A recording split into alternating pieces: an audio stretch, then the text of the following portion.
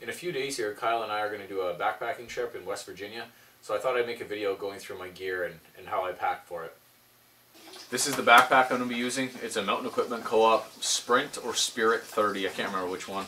Uh, Mountain Equipment Co-op is the is the brand as well. Uh, so I bought it from the store and it's it's their brand. It's a good pack. I've used it a lot for a few years now, a couple years. Um, I like this outside zip, zipper compartment where you can put your wet stuff or whatever. And then also it's a pocket here. Uh, I've got the poles to my tent on the outside, my cup and my water bottle on the other side. And I got it cinched down real good. Without food and water, it weighed 16 pounds. So with food and water, I'm gonna be right just under 30, I think. So as always on a backpacking trip, I'm trying to bring as least amount of gear as possible. And I've really narrowed it down this time. So let's go through a, a couple things real quick first. Um, we're going to the Dolly Sods area in West Virginia, and it's planning, or it's, it's calling for rain. so, my rain gear. Okay, my rain gear is going to go at the top of my pack so I can access it very well. This is um, Mountain Hardwear, tops and bottom. They're light, very light, and I can pack them down smaller than this. I just got a this one with an elastic around it, and this one just rolled up. So those are going to go on the top of my bag, easily accessible. My PrimaLoft, my Mountain Equipment Co-op uh, PrimaLoft is going to be on the top as well. I'll be wearing it on and off, I know it. I have these gloves. These little, like, uh, factory nitrile gloves that I can get uh, for free from work. So these are like a one-time use glove, but they're, they're enough to keep the wind off me and uh, keep my hands from getting too beat up. And they're light, light, light, light, and they pack down to nothing. I like them a lot. They're useful. I've used them a few times. Uh, other ones. Uh, my beanie, my toque, my toboggan, if you're in the States, whatever you want to call it. Is a Merino Wool Icebreakers brand. I wear it a lot. These are my extra clothes. Uh, I will open it and show you what I have. So I have clothes that I'm going to wear in and then these are my extras. We're only going for three days, two nights, so I don't, I'm not bringing a lot at all. This is an outdoor research um, waterproof Sil Nylon bag. It's lightweight, and I just, it'll keep my, my stuff that I need to keep dry, dry. So, an extra pair of Icebreaker wool socks, Stanfield's Polar Therm long underwear, uh, again long underwear, and a long underwear shirt. That's the extent of my extra clothes. I'm going to be wearing my clothes and when it starts to rain I'm going to say if it rains I'm going to take off my pants. I'll be wearing uh, North Face nylon pants. I'm going to take those off and wear my, my long johns underneath my uh, rain gear and I'll keep my pants dry for the next day or the night. So that's how that's going to go. Um, what else? So my tent. This is something new for me my buddy Dustin hooked me up big time with his tent. Thanks a lot, man. I really appreciate it. This is a Big Agnes Steamboat. Nope, that's from... I don't know what model it is. I'll put it in the description anyway. So originally, this comes in here. There's two pounds for, for the whole setup, the, the tent and the poles. That comes in there, and, and it's really, really lightweight. But my whole problem is, I want to fit my bag, my, my tent inside my bag, my backpack. I don't want it to get wet. So if I take the poles out and just strap the poles to the outside, I don't care if these poles get wet. And now the tent doesn't have to be long like that. It can compress even more so than it already does, or flat. Um, so that's what I'm going to do. The poles are going to go on the outside, strapped to the bag. The tent is going to go on the inside. This is a one-man uh, glorified bivy. It's, it's very small, but it's all I need, and it's actually roomy enough that I can sit up in it and change, no problem. I've only set this up once in my front yard to test it out, and setting up was super intuitive. Bay Agnes, I'll put the specific name in the link. Uh, as far as sleeping pad, you guys see me go through this a couple times recently. This is that uh, Astro, Nemo Astro Airlight 20R. Again, 20R is not the value, it's the name. It's a warm weather pad, but I'm bringing a warm bag and I'm saving weight and space on bringing this um, warm weather pad. This pad has a pillow built into it, so I'm not bringing a pillow. I always bring a down pillow, but I don't need to because of the baffles in this. My sleeping bag, again, Mountain Hardwear, negative 7, or if you're American, 20 degree bag, down bag, in a compression sack. That'll keep you warm. Ugh. Got a first aid kit with basic stuff in here. Duct tape, painkillers, uh, gauze, and bandages.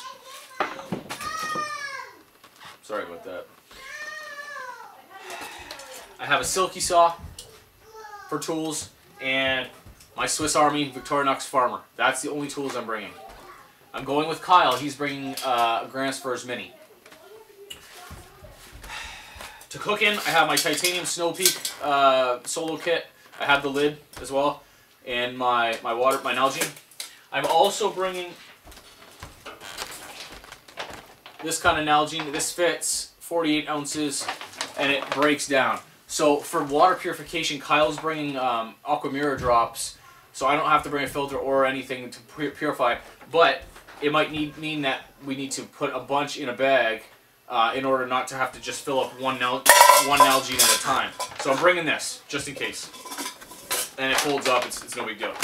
Um, as far as videota videotaping and taking pictures, I'm not bringing my DSLR on this trip. I just recently, actually, Kyle has it for me, got a GoPro Silver, a GoPro 4 Hero Silver. The one with the LCD screen on the back. So that's what I'll be using to, to film. It's going to look a little different than my normal stuff, that's for sure. And I probably won't get it right because it's my first time using it. But I have an extra battery for it, and I have this tiny Gorilla Pod I'm going to use for it. So my camera gear is going to be lightweight this trip, which is awesome. What else? I have sunglasses, obviously. This bag has all my little odds and ends in it, and I only have one bag of that. Everything else is like contained in itself. But in this small odds and ends bag, it's actually the bag that comes with my um, sleeping pad. So it has a repair kit attached in it. I have emergency fire kit, which is strike anywhere matches, stormproof matches, and um, little sawdust puck thing that you can light on fire really easily. Toilet paper and baby wipes, pain meds and anti-diarrhea meds, which is super important, and my headlamp and a lighter, a mini Bic lighter, just in case. I'm not bringing a fire steel this trip. It's matches or a lighter, or unless Kyle has his fire steel, we'll use it that way. Everything's taken care of now except for food, okay? Let me just do it. I'll get right back to you. The way that we're doing this trip is I'm driving to Kyle's house, which is near Columbus, Ohio. Then from there, we're driving to West Virginia. So he doesn't get done work till 4. We're not starting the trip to West Virginia until about 4.30. Puts us there about 11 o'clock at night if we're lucky. Something around, something like that anyways. So what we'll be doing is, is eating uh, at restaurants or whatever on the way sleeping in the parking lot and getting up and making breakfast and then heading out from there. So I'm not going to include that stuff in my stuff here. I have oatmeal for that morning, but I'm not packing it, so I'm not counting it. That's going to be like in my car bag. I really tried to dial my food in this time for this trip, and I think I did a pretty good job. So I'll just start off. Um, for mornings, for breakfast, I have two packs of oatmeal and two packs of raisins and those will all be eaten together. For lunch, I have I have two of these uh, salami sticks. They're dried salami, uh, one for each day, and a half of uh, brick of jalapeno Havarti each day for lunch. That's a lot of lunch. Okay, I'll be fine with that for lunch. For snacks, I have each day three bars. I have uh, Nature Valley bars here. And then for supper, it's going to be Mountain House. This one is uh, grilled chicken breast with mashed potatoes, and then at night, one tea, a honey lemon tea. Okay. Next day, it's the same thing, except for I have a Snickers bar in there, and my chicken teriyaki with rice is my supper. Now, I've also brought in that mesh bag, I'm going to have um, my stove, my canister and my stove, pocket rocket, my lid to my titanium cup, and my spork, as well as extra. I, am bringing one extra uh, Lipton soup lunch thing in case I'm freezing cold on the trail and just I'll throw that in my stove and cook it up real quick. I have an Airheads and some of my daughter's like, princess gummy bears. and I'll fit all into this yellow mesh bag. And I'm using this yellow mesh bag for a reason. I, I want to be able to see what food is where. And I want to be able to take it out without having without taking out all the other food to get to it. The stove canister isn't going in there. That's the only thing. I forgot to mention I'll bring my Reflectix as well, but that's a given. It goes right in the back on my pack. My pack doesn't have a frame on it, so that kind of adds to the frame or framework, what would be a frame. First goes my sleep bag sideways. Next I'm going to put my tent sideways. I'm going to smush it in there. Next, my sleeping pad. These are all things, I'm doing this on purpose, like in for a reason in, in the way I'm putting it in. Uh, well, after that goes my clothes.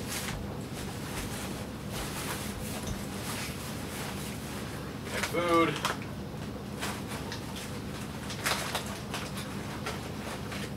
My stove. And then things that I don't know if I'm going to wear or not right off the hop. Uh, I'll actually put my rain gear in next.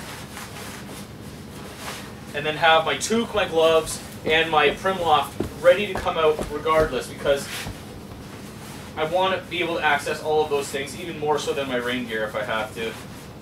It's a given I'm going to have to put on my PrimaLoft. I might not have to put on my rain gear depending. Um, and in the top goes the analogy. So Kyle is going to bring an extra tarp and he's going to bring the booze. So it's a liter of booze, weighs almost the same as the tarp with the cords on it. So one of us is going to carry one of those as well in our packs. It's not, not going to uh, affect anything at all for me. So my tent, again, my tent poles are going to go on the outside in my pocket. I'm going to buckle two buckles so that they don't go anywhere. And that's going to save me space on the inside. And I really, like I said, don't care if they get wet. It doesn't affect anything.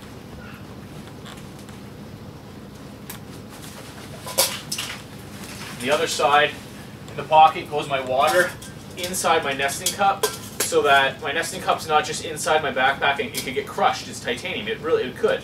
Um, but with this on it and on the outside, I have, or sorry, inside, with the Nalgene inside the cup and attached to the outside of my bag, I have easy access to my water and I'm protecting my cup.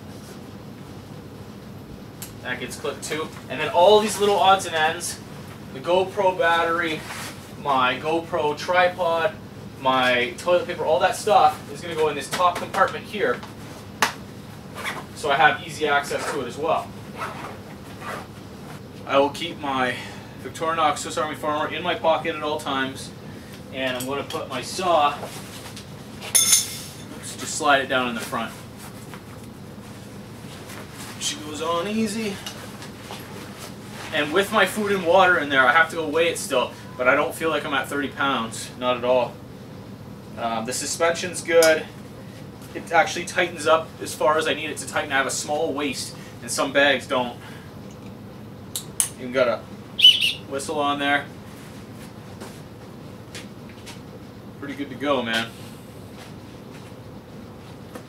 I'm gonna run up and quick, quickly weigh this and let you know what it weighs.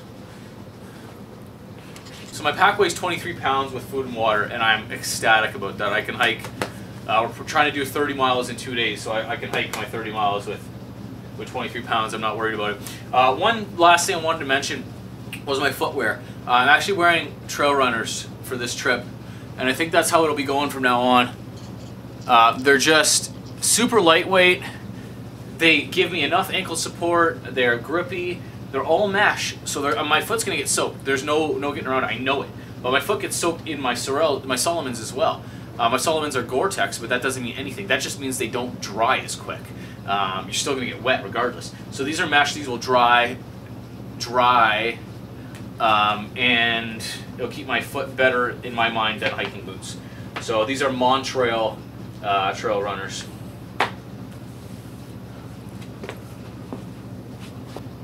Guys, I hope you enjoyed the video and learned something, and be on the lookout for my backpacking trip in about three or four days. Thanks, guys. Bye.